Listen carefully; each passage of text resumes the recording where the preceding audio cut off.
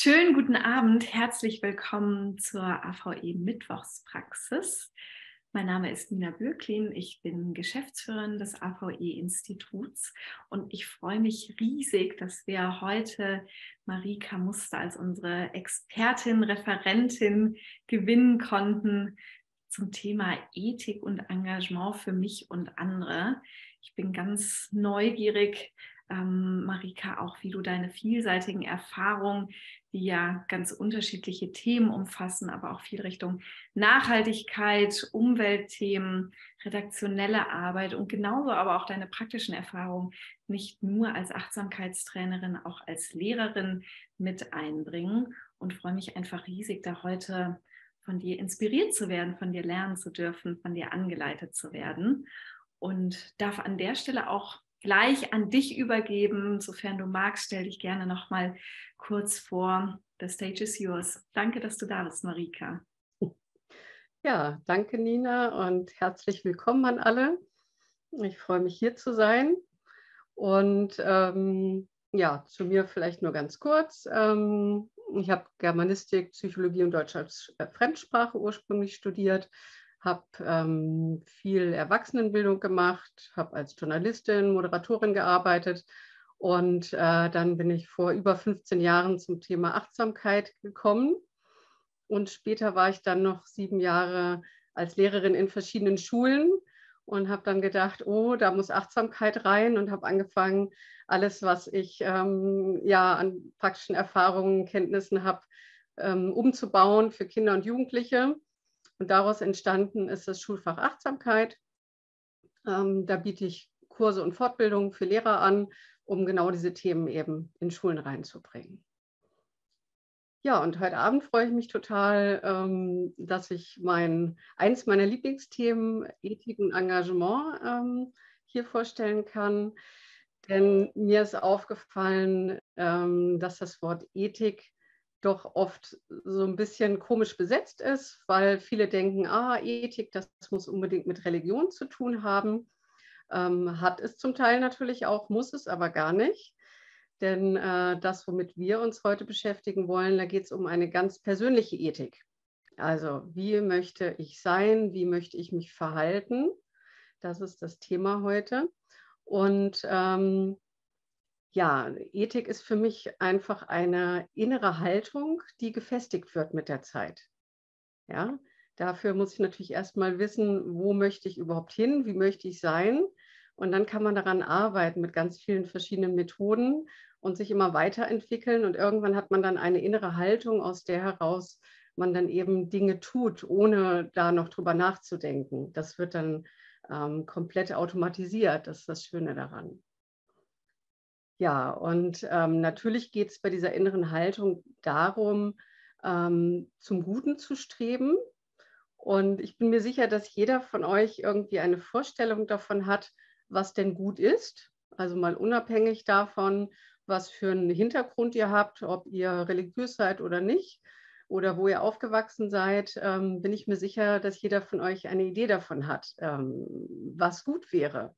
Also für euch ganz persönlich, also nicht allgemein, sondern äh, was wäre für dich gut, wo möchtest du hin? Und deswegen würde ich jeden mal ähm, bitten, mal ein oder zwei Wörter in den Chat zu schreiben. Was ist für dich eine gute Eigenschaft, die du gerne hättest? Zum erstmal überlegen, wahrscheinlich gibt es ganz viele Sachen. So, hier gibt es zum Beispiel Ehrlichkeit. Mhm. Geduld ohne Ende, das finde ich schön. Wohlwollen. Mhm. Gelassenheit. Sorglosigkeit, Präsenz, Toleranz, mhm. mitfühlend, also Mitgefühl, mhm. Gute Gedanken auch bei Ärger. Ja, sehr schön.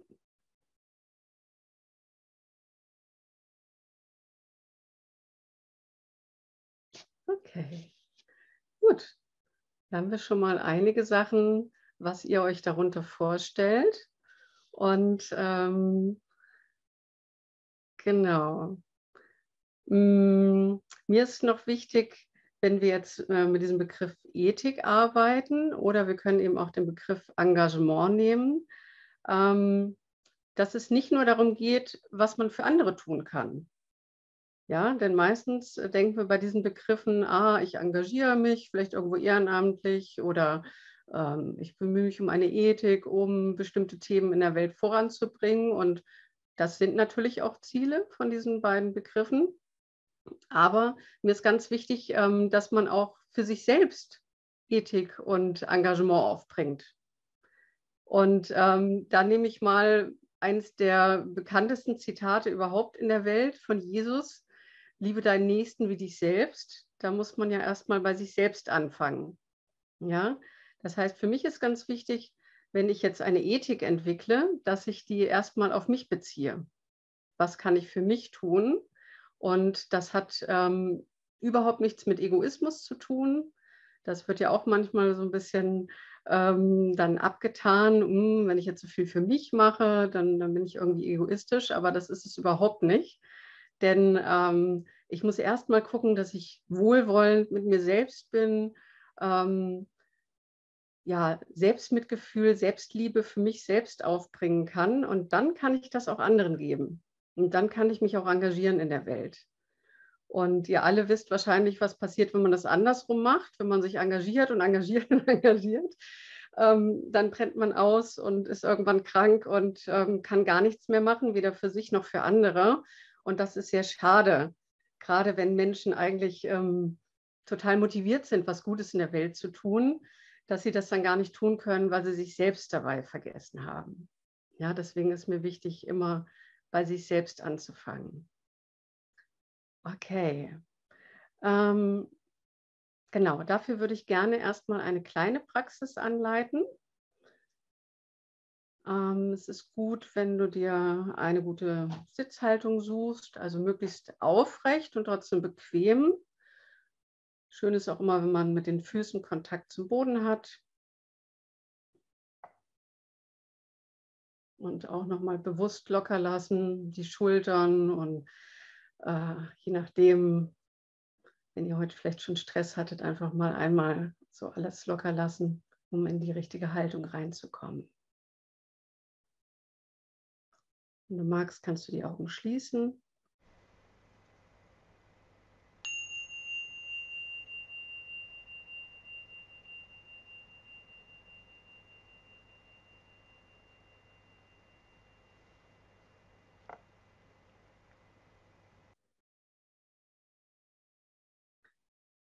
Jetzt möchte ich dich bitten, mal erstmal in deinen Körper hineinzuspüren, wie du jetzt gerade dort sitzt. Nimm auch einmal deinen Atem wahr, entweder am Bauch oder am Brustkorb oder wie die Luft an der Nase oder Mund ein- und ausströmt.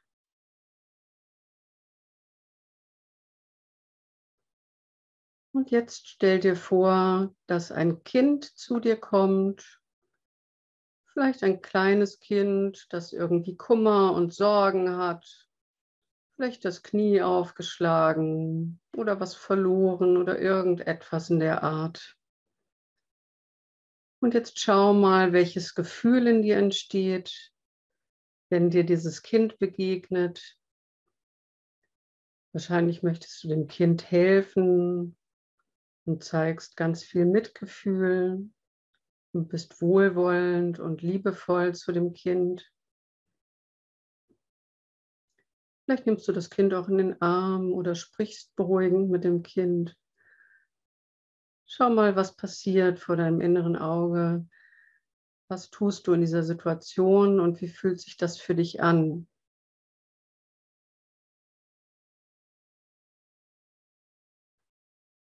Und jetzt speicher mal dieses Gefühl ab und wende das auf dich selbst an.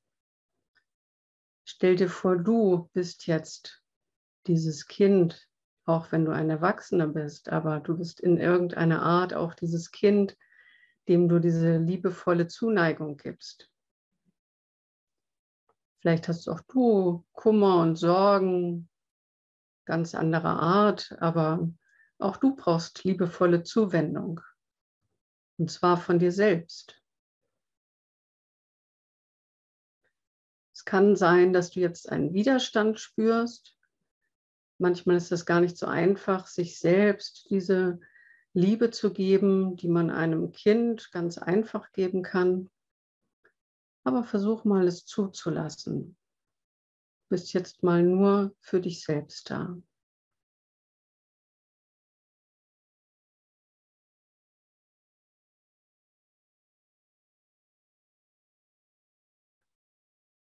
Vielleicht fühlt sich das auch sehr schön an oder vielleicht auch ungewohnt. Spür einfach mal in dich hinein.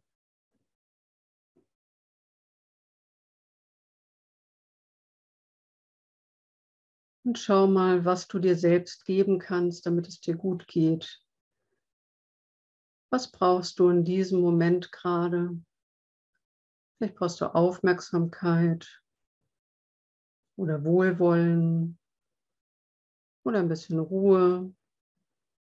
Gib dir in Gedanken das, was du brauchst.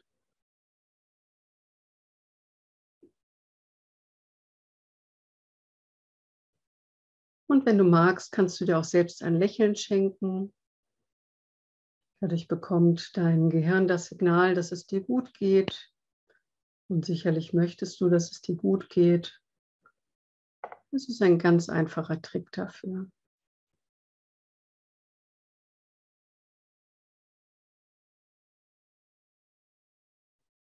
Und wenn sich das jetzt schön anfühlt, dann versuch dieses Gefühl mit in den Raum zurückzunehmen.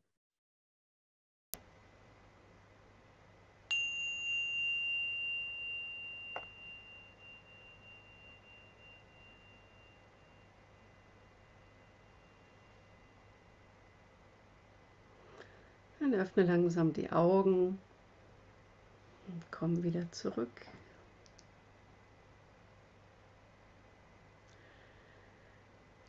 Ja, ich würde natürlich gerne wissen, vielleicht möchte der ein oder andere teilen, wie das war, wie sich das angefühlt hat, ob das einfach war oder vielleicht ein Widerstand auch da war,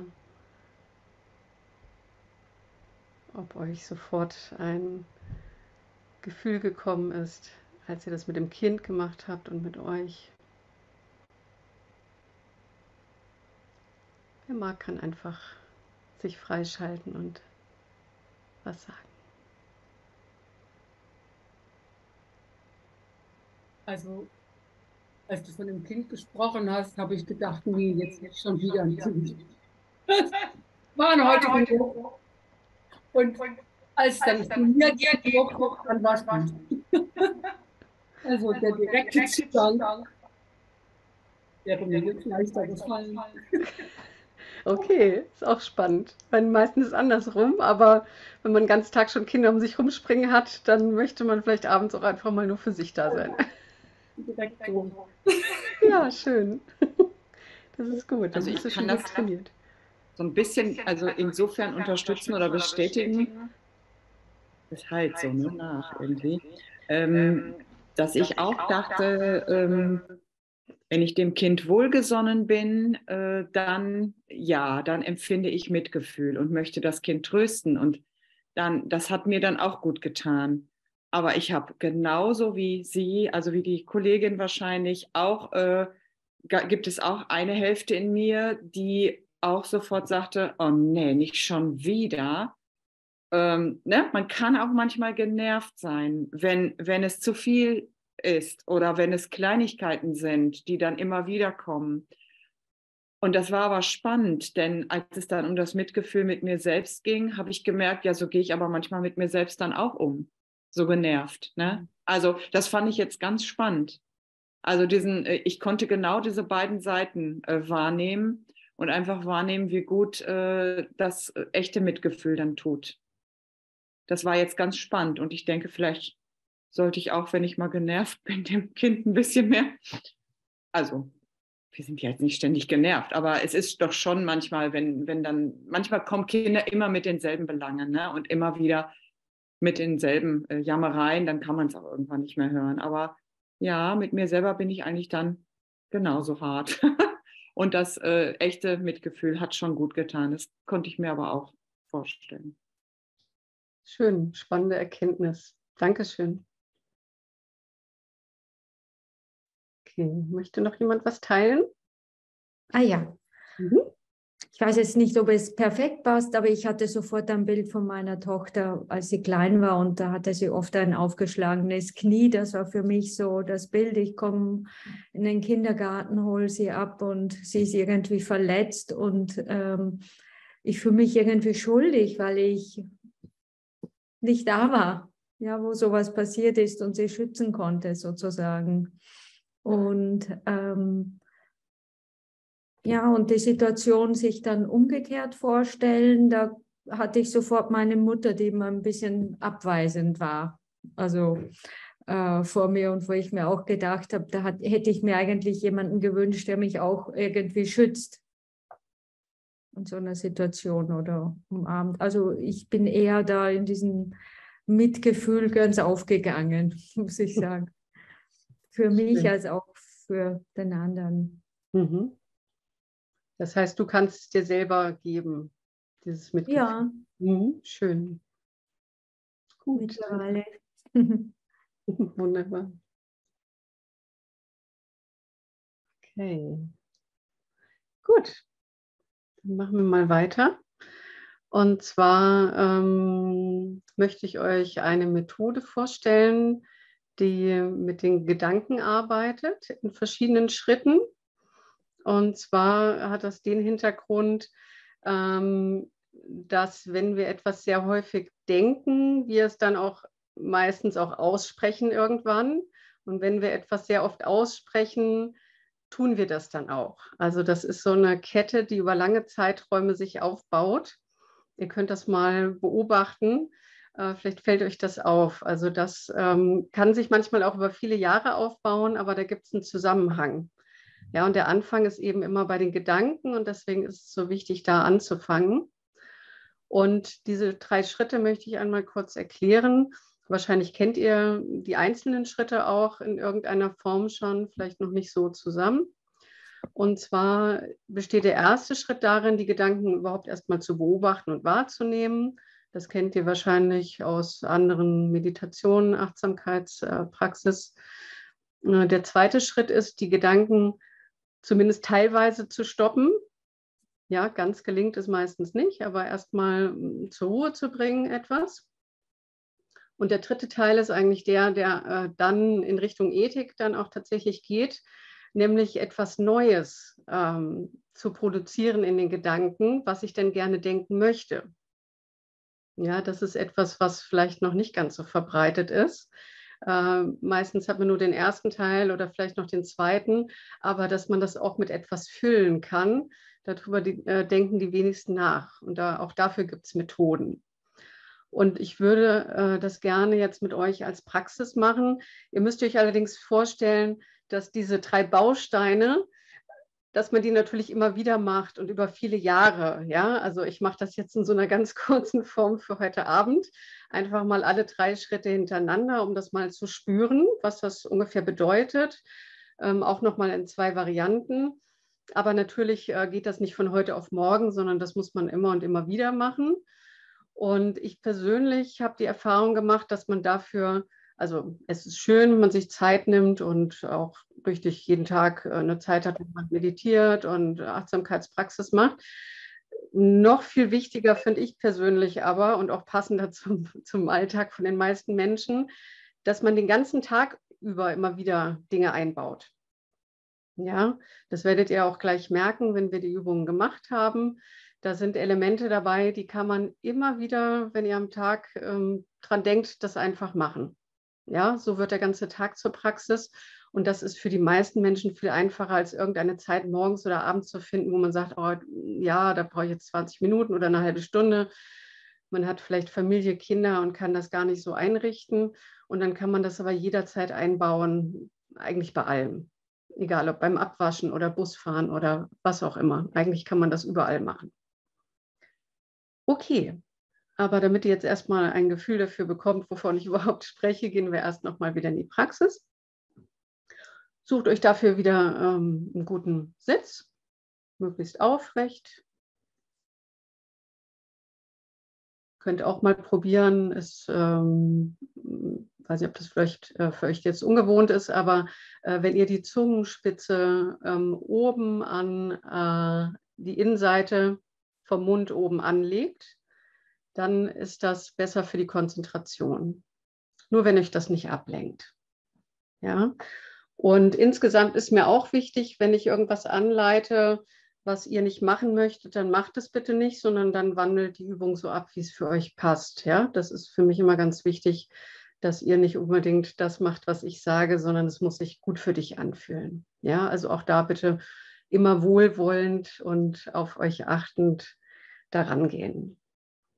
Okay, wenn du magst, kannst du die Augen schließen.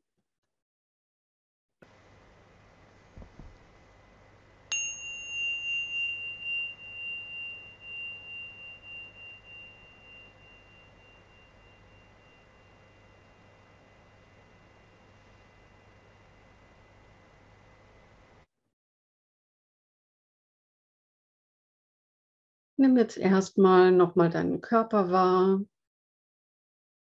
Vielleicht gibt es irgendeine Stelle im Körper, die jetzt gerade deine Aufmerksamkeit möchte. Dann schenk dieser Stelle deine Aufmerksamkeit und dein Wohlwollen.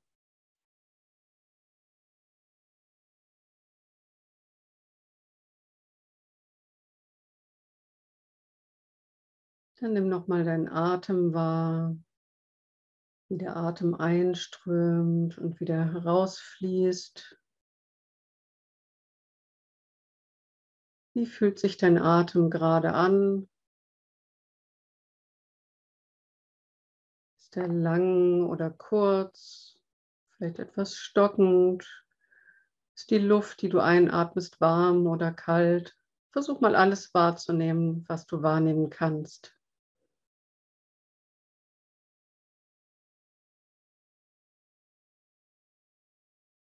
Und versuch auch deine Gefühle wahrzunehmen. Wie fühlst du dich gerade?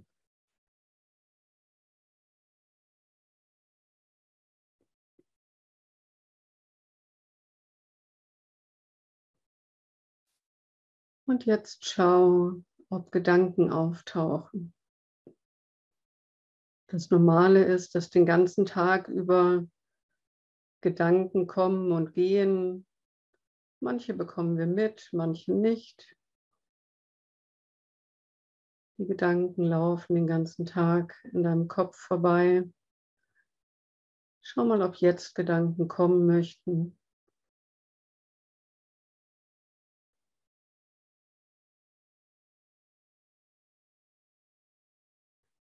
Schau mal, ob das Gedanken sind, die die Vergangenheit betreffen oder die Zukunft oder ob das etwas aus dem Jetzt ist, vielleicht etwas aus deinem Körper. Nimm einfach wahr, wie es ist, ohne es weiter zu bewerten.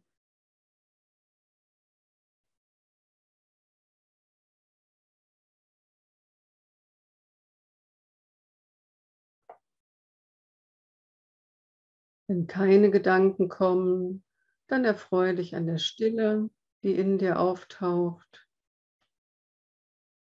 Und wenn Gedanken kommen, dann nimm sie wahr und lass sie wieder ziehen. Sicherlich kennst du auch schon Techniken, wie du die Gedanken ziehen lassen kannst. Du kannst dir dabei zum Beispiel vorstellen, dass die Gedanken wie Wolken weiterziehen oder wie eine Welle kommen und gehen oder für manche ist es auch gut, sich einen Zug vorzustellen und da steigen die Gedanken ein und der Zug fährt weg. Aber vielleicht brauchst du auch gar kein Bild, sondern kannst einfach nur wahrnehmen, dass der Gedanke kommt, ohne darauf einzugehen und ihn einfach wieder loslassen.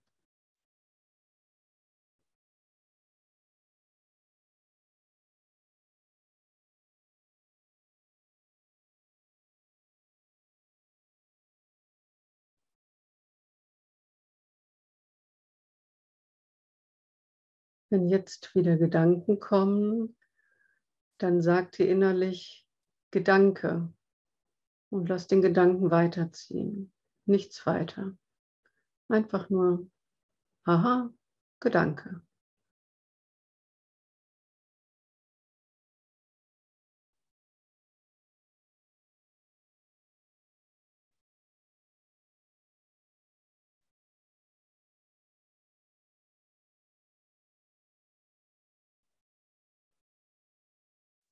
Alternativ kannst du auch versuchen, mit dem Wort Stopp zu arbeiten. Das heißt, ein Gedanke kommt, du sagst Stopp und der Gedanke kann gehen. Probier auch das aus. Schau mal, was für dich besser passt.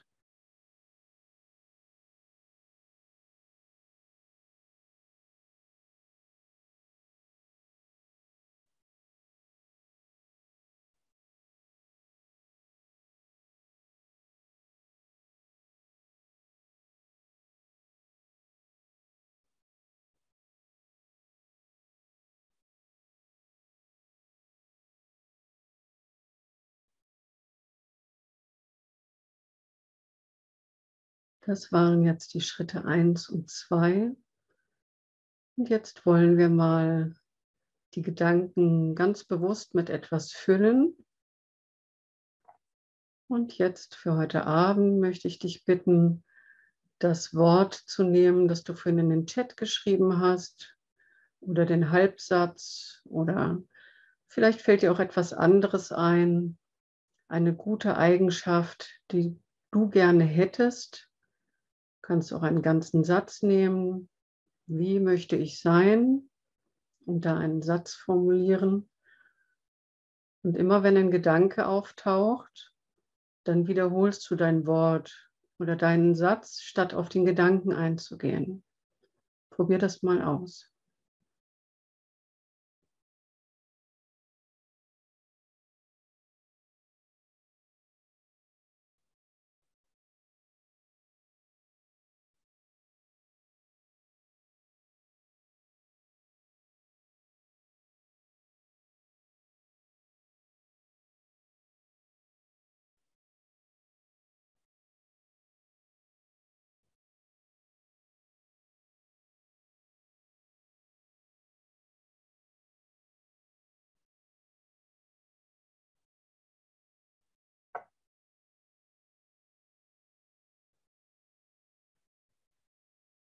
Alternativ kannst du auch noch etwas anderes ausprobieren.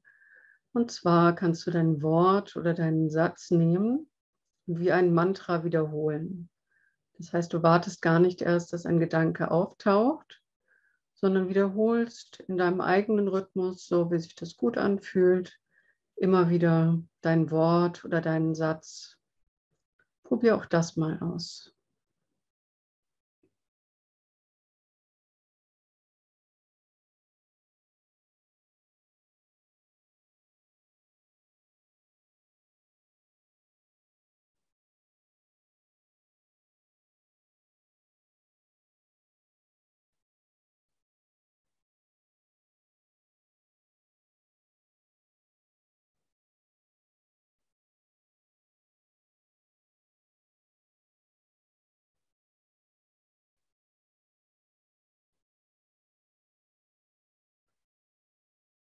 Jetzt nimm nochmal deinen Atem wahr. Vielleicht hat sich dein Atem verändert. Schau auch nochmal auf deine Gefühle und auf deinen Körper. Vielleicht fühlt sich etwas anders an als vorher. Dann nimm es einfach wahr.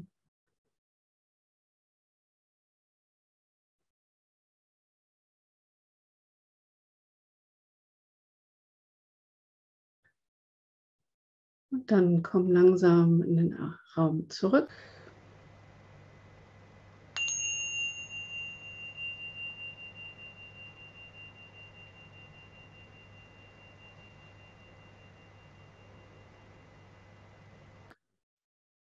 Öffne in deinem Tempo die Augen.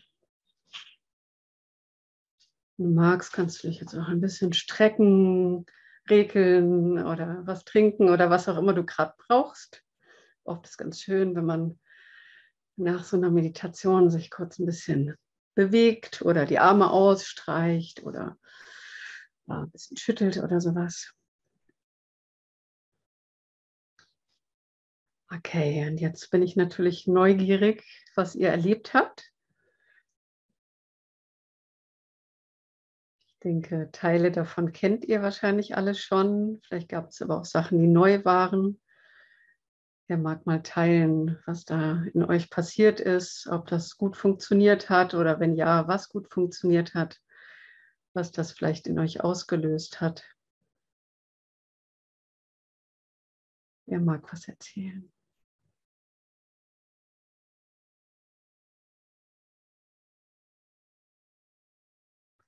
Alle ganz entspannt jetzt, ne? ist mal schön, wenn man das abends macht, ne? wir alle ganz Oh, am liebsten gleich schlafen gehen. Okay. Ihr müsst auch nichts teilen, aber ich hoffe, dass ihr für euch vielleicht was. Ah, Sarah möchte was sagen. Ja, mm. für mich war das neu mit dem ähm, Gedanken umlenken. Und ich habe das so wahrgenommen wie so eine freundliche ähm, Kurskorrektur, ähm, die mich ja mit dem verbindet, was für mich ein Wert ist oder vielleicht auch eine Sehnsucht.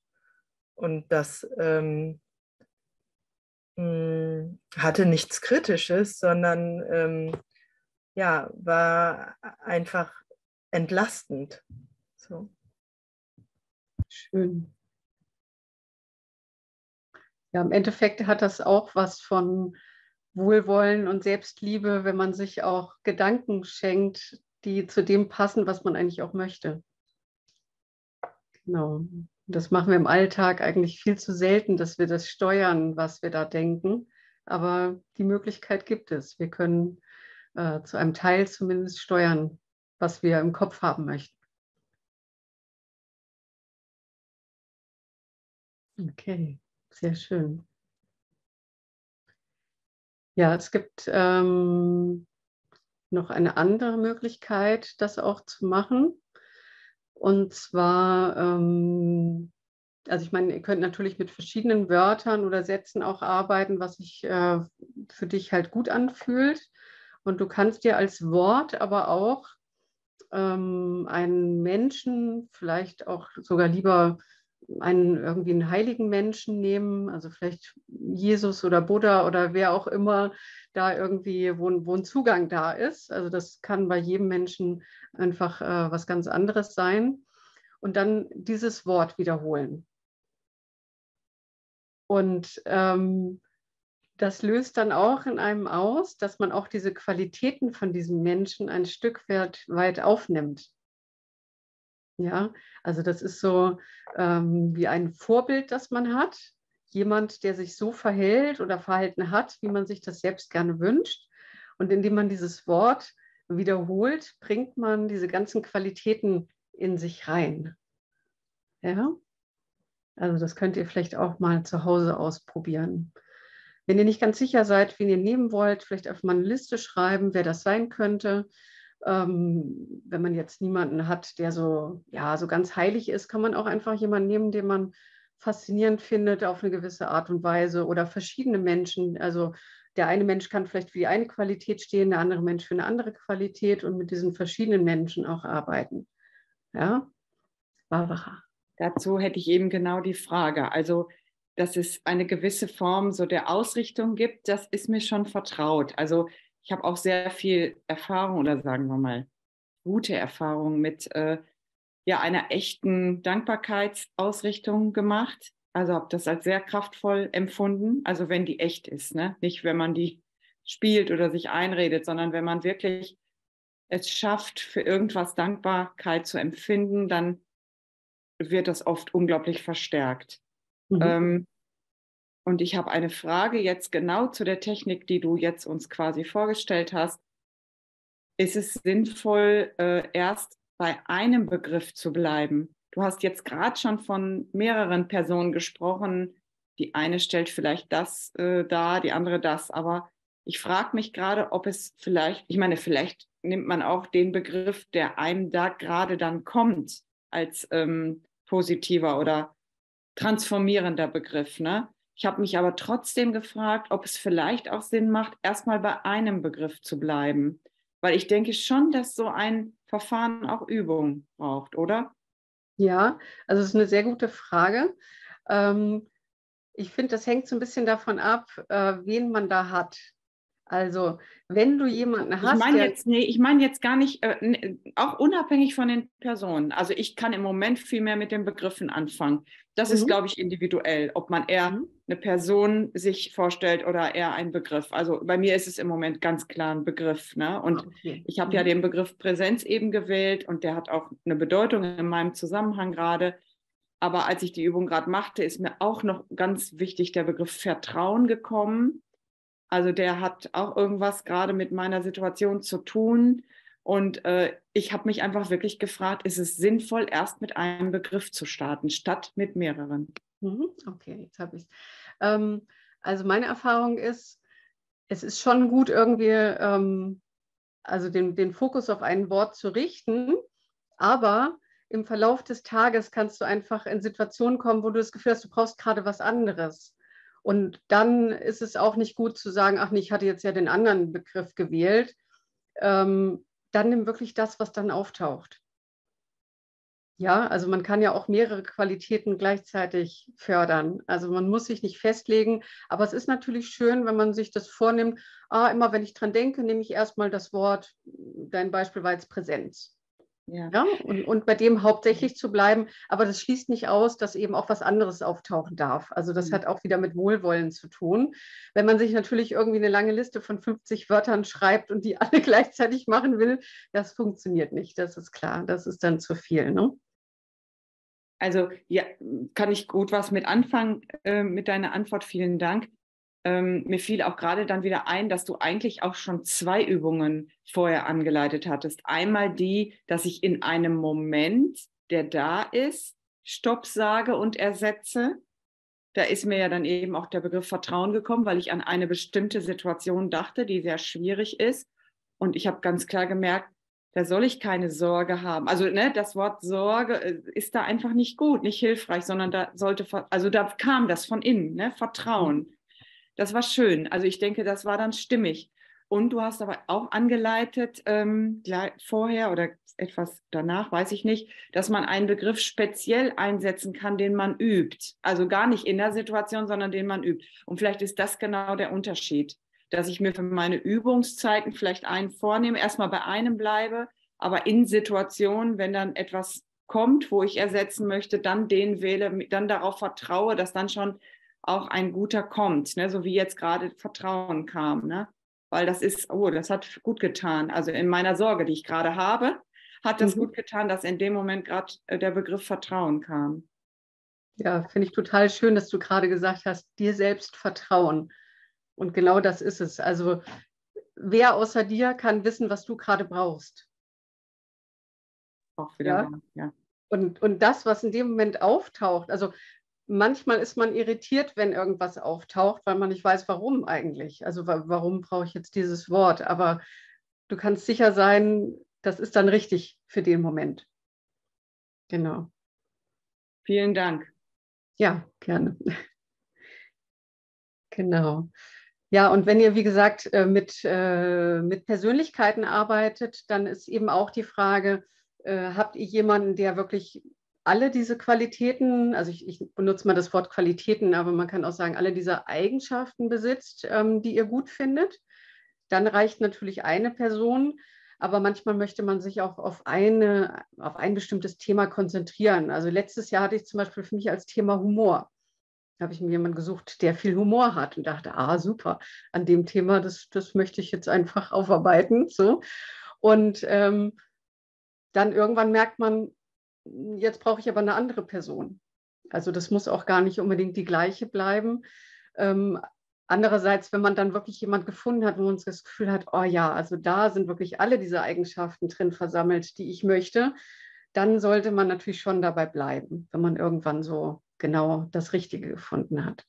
Aber da muss man erstmal ein bisschen ausprobieren. Genau. Okay. Ähm,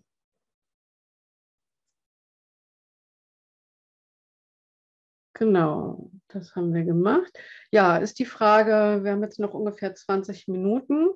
Es gebe die Möglichkeit, sich jetzt auch nochmal in Breakout-Rooms auszutauschen und äh, vielleicht die Erfahrung, vielleicht möchtet ihr die lieber in kleiner Runde äh, nochmal austauschen, anstatt in der großen Runde. Oder vielleicht habt ihr auch Fragen. Wo noch ist euch heute lieber?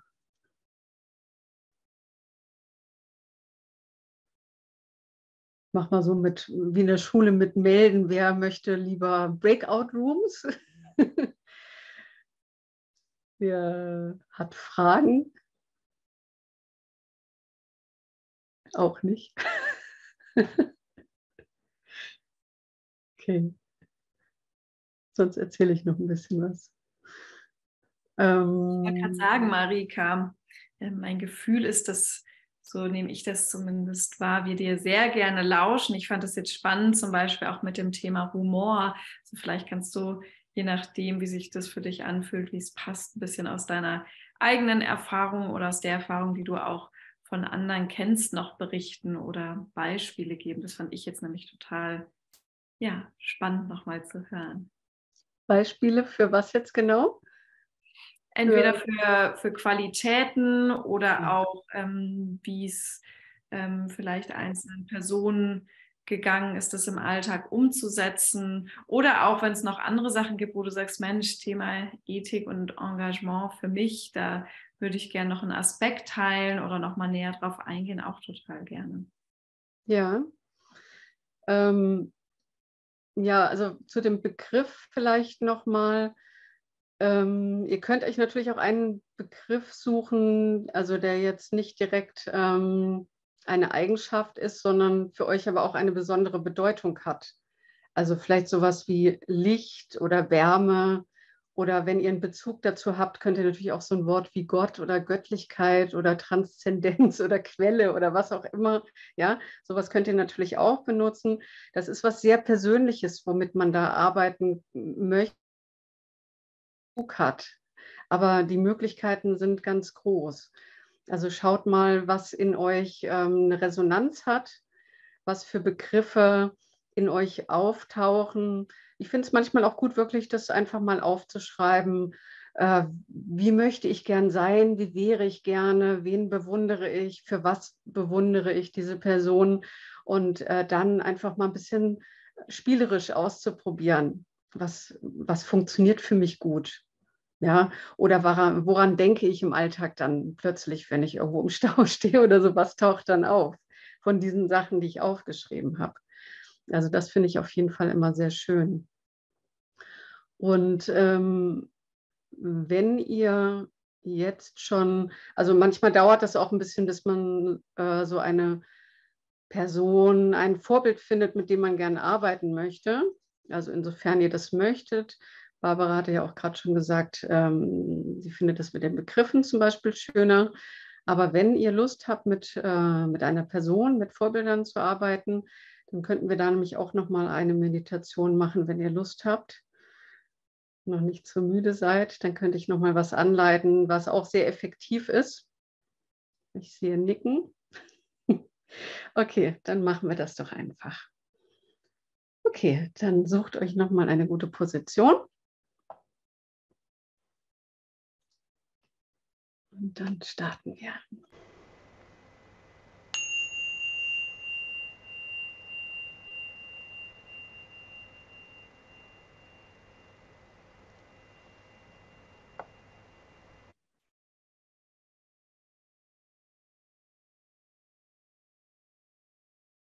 Erst noch mal kurz wahr, wie sich dein Körper jetzt anfühlt im Vergleich zu vorhin.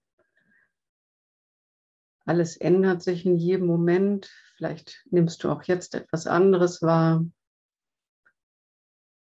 Schau auch, wie es gerade mit deinen Gefühlen aussieht. Und wie sich dein Atem jetzt anfühlt.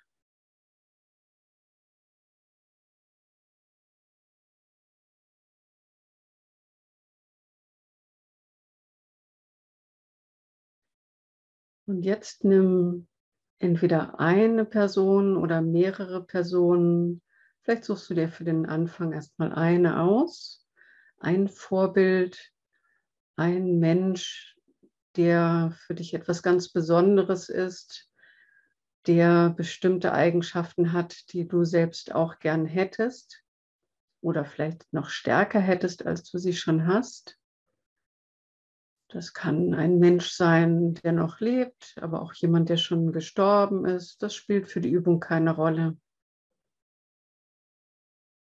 Jetzt stell dir diese Person vor, bildlich, und stell dir vor, dass diese Person hinter dir steht. Wenn das unangenehm ist, dann vielleicht auch so seitlich hinter dir. Aber eigentlich geht es darum, dass diese Person dir den Rücken stärkt, hinter dir steht, wortwörtlich, und du diese Eigenschaften dieser Person annimmst. Das heißt, diese Person ist jetzt immer bei dir, egal was du machst. Und mit dieser Person hinter dir, bei dir, mit dir, möchte ich dich bitten, in Gedanken mal durch deine Schule zu gehen. Da kommt jetzt ein Kollege auf dich zu oder eine Kollegin, schau mal, wer da auftaucht. Und ist schlecht gelaunt und kommt auf dich zu und ist hektisch.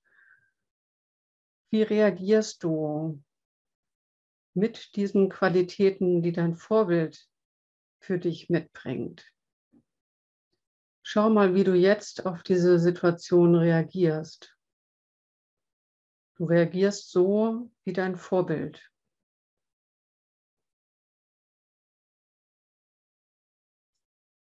Jetzt geh weiter durchs Schulhaus und dann kommt ein Schüler oder eine Schülerin auf dich zugelaufen und will was und ähm, ist vielleicht sogar laut und wütend und aggressiv. Schau mal, wie du jetzt als diese Person, als dein Vorbild reagierst. Wie gehst du auf das Kind zu?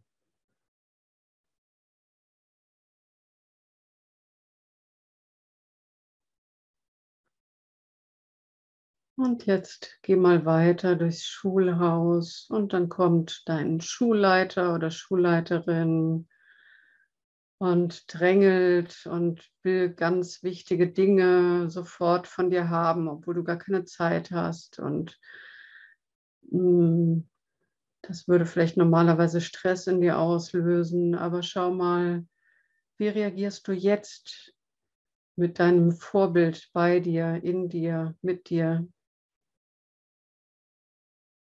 Was machst du anders? Und vor allen Dingen, wie fühlt sich das an?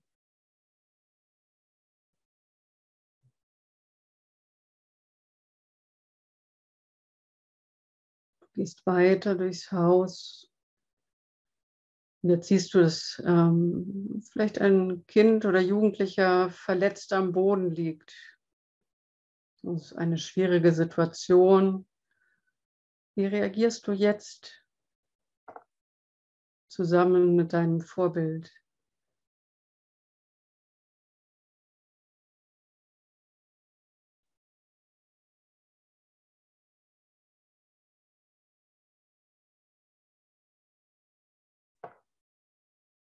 Hast du auch diese Situation gemeistert. Spür auch da nochmal, wie sich das anfühlt.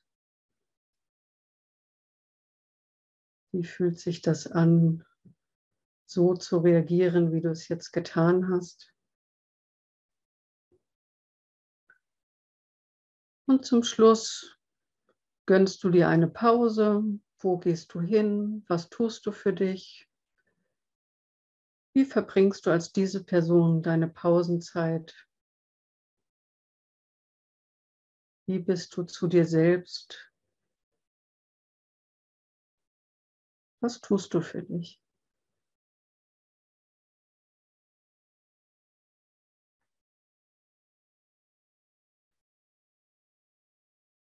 wenn wir jetzt gleich die Übung beenden, dann kannst du dein Vorbild mitnehmen und kannst dein Vorbild immer bei dir haben, im Unterricht, in den Pausen, überall im Alltag.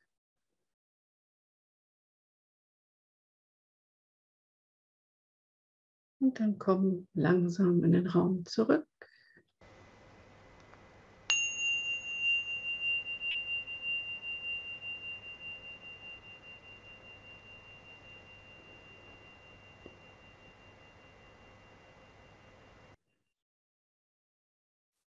Ja, auf jeden Fall lächelnde Gesichter.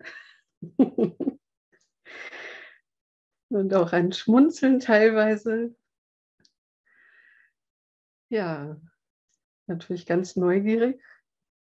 Vielleicht mag jemand erzählen, was passiert ist. Vielleicht auch, welche Person ihr genommen habt. Das ist manchmal auch ganz spannend, wenn man das von anderen hört. Das kann einen auch nochmal inspirieren.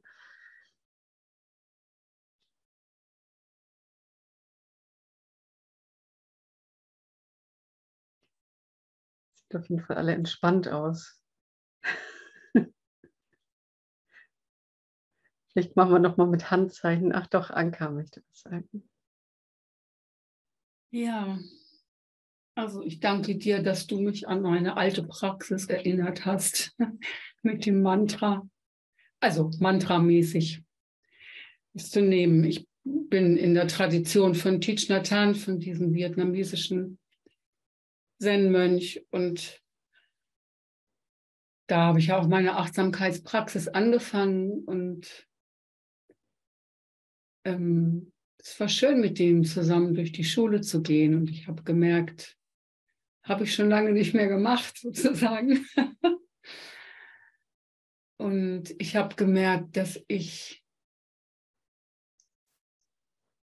das alles für mich gebraucht habe, dass ich immer hochgekeschert war bei jeder Begegnung, die du beschrieben hast. Und ähm, ich immer, also mein Mantra ist äh, Liebe und Verstehen, Verkörpern und Verwirklichen. Und das hat dann immer Wunder gewirkt und das war dann wirklich für mich. Ich brauchte das wirklich erstmal alles wieder für mich. Ich brauche diese Liebe für mich und dies Verstehen für mich und mir vorzustellen, jede Zelle meines Körpers weiß das ja schon. Und dies in Erinnerung zu rufen. Und dann hat mir das so geholfen, mir vorzustellen, Thich mit seiner unglaublichen mit seinem unglaublichen Frieden und Mitgefühl ist da einfach präsent in diesem ganzen Trubel. Ja, und jetzt habe ich das für mich wiedergefunden. Ich bin sehr dankbar. Dankeschön. Schön, das freut mich. Ja, das Spannende an der Übung ist ja, dass ihr alle diese Eigenschaften, die ihr jetzt erlebt habt, eigentlich in euch tragt. Ja, die kommen ja gar nicht von außen, sondern die kommen von innen. Die sind alle schon da. Ja, und dieses Bild von dieser Person, die euch da sozusagen unterstützt, ist eigentlich nur ein Hilfsmittel, aber eigentlich seid ihr diejenigen, die diese Eigenschaften habt schon. Nur vielleicht noch nicht so auslebt.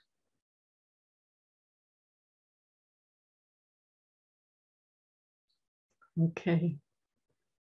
Ich glaube, das ist ein ganz gutes Schlusswort. Dann übergebe ich nochmal an Nina.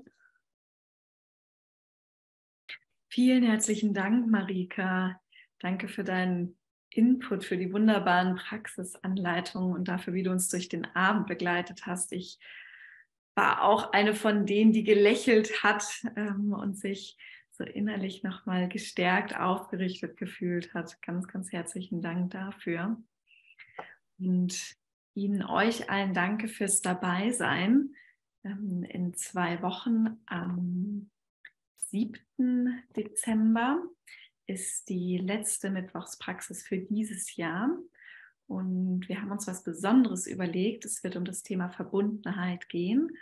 Und wir werden bestmöglich auch als Team mit unseren Teammitgliedern da sein, vor Ort sein und wollen euch an der Stelle einladen, ja, nochmal in die Stille zu gehen zum Thema Verbundenheit, in den Austausch auch zu gehen und ein bisschen an vielleicht auch Momente von Verbundenheit nochmal zu erinnern und möglicherweise sogar auch das Thema, das Gefühl, das Empfinden für Verbundenheit stärken. Also wer Zeit und Lust hat, ist da natürlich ganz herzlich eingeladen. In dem Sinne einen wunderbaren Abend euch. Ganz herzlichen Dank dir, Marika. Und alles Gute bis zum nächsten Mal. Vielen Dank. Vielen Dank. Ciao. Tschüss.